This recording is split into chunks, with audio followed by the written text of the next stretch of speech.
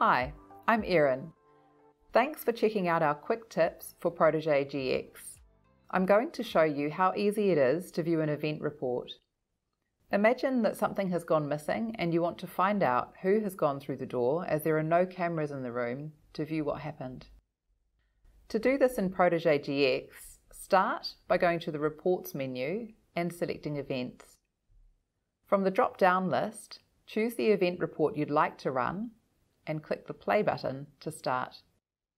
Choose the time frame from the list. In this instance, we'll choose last 12 hours, but you could also enter custom dates and times. Now, click OK. Your list of events will be displayed starting from the latest event. Once you have the report, you can filter this to find out everyone that went through the door. To do this, drag the door column up into the filter section. This brings up a list of all doors that have been accessed in this period.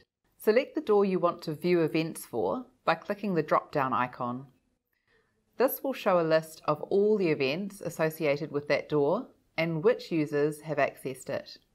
If you then want to track a certain user's movements, drag the Users column up to the left of the Door column in the Filter section. Then select the user to view all their movements during this time. Now we have a list of users and all doors they have accessed within this time frame.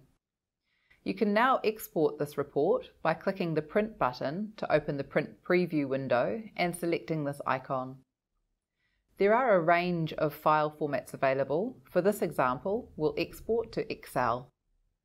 Once exported, open this file to view the data outside of Protege GX. To recap, you can view an event report in Protege GX using the Reports menu. Once you run the report, you can filter the data before exporting to a file. If you need more information on viewing reports, check out the End User Guide online. Thanks for watching this episode of Quick Tips and Securing Your Future with ICT.